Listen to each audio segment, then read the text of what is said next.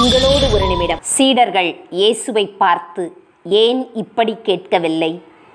யூத சமூகமானது ரோமையர்களின் ஆட்சியிலிருந்து அடிமைத்தனத்திலிருந்து விடுதலை பெற கற்றுத்தாருங்கள்.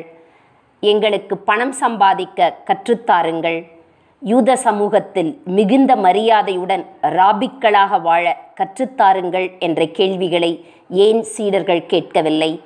மாறாக அவர்கள் இயேசுவை பார்த்து ஜெபிக்க கற்றுத்தாருங்கள் என்று கேட்கின்றார். இயேசுவும் விண்ணகத் தந்தையே என்ற ஜெபத்தை சொல்லிக் கொடுக்கின்றார். நமது பிள்ளைகள் நம்மிடம் என்ன கேட்கிறார்கள்? வாழ்க்கையை எப்படி கொண்டாடுவது? பிரச்சனைகளை சோதனைகளை எப்படி எதிர்கொள்வது? அன்போடு எப்படி வளர்வது? இறை வார்த்தையை வாழ்வாக்குவது எப்படி? என்ற இப்படிப்பட்ட கேள்விகளை கேட்கிறார்களா? அல்லது வேறு கேள்விகளை கேட்கிறார்களா?